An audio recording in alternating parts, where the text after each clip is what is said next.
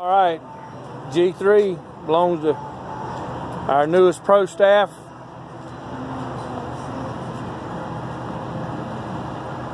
Evan.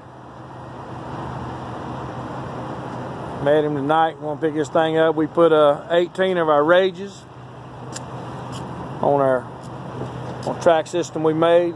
Got the, the holes drilled out every six inches. He can Put something between them, spread them out, put them where he wants to, put some space, made the rod bar, put the uh, cutting board in the middle.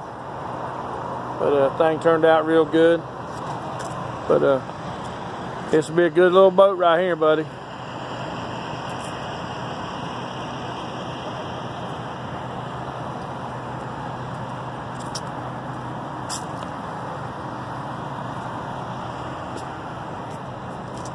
Evan Martin.